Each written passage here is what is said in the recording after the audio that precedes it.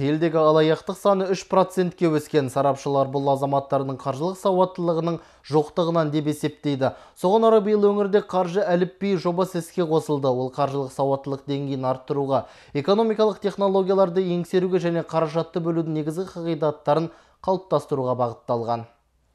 Қаржы әліпби жобасының авторы айнагүл ахитова. Ол шоқан уәлиханов атындағы көкшетау университеті жанындағы көпсалалы колледжінде экономика пәндерінен дәріс оқиды. Шәкірттері республикалық және облыстық байқаулардың жеңімпаздары. Біздің кейіпкер студенттерге оқылған әр дәріс қаржы әлемінде олардың бағытын табуға үйрететініне сенімді. Әрі жеке отбасылық бюджетті тиімді басқаруға да септігі тиеді дейді. Мой стаж работы педагогической деятельности составляет 16. Мен бұл салада 16 жыл қызмет етіп келем. 2021 жылы ғылыми қызметкер санатын иелендім.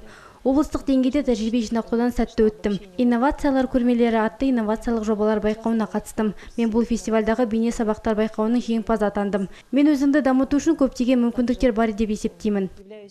Айнагүл Ахитова былтырдан бері білім саласындағы волонтерлік шеңберінде халықпен бірге жұмыс істеп жүр. Қаржылық сауаттылыққа қатысты сабақты айына бір рет аға буын өкілдерімен өткізіп келеді. Өйткені дәл осы егде жастағылар көбінесе алаяқтардың қақпанына түсіп жатады. Жобаға қатысушылар қаржылық сауаттылықты меңгеруге бір сабақтың өзі жеткілікті деп есептейді.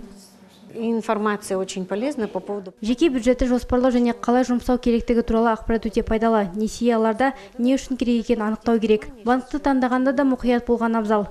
Жылт-жылт еткен жарнамаға алданып қалмау қажет. Қаржылық сауаттылық дегеніміз ақшаның қалай жұмыс істейтінін және оларды табудың жолымен басқаруды нақты түсіну. Шығыс кірістен аспауы тиіс. Бұл қаржылық тұрғыдан сауатты адамның басты ерекшелігіне айналған абзал.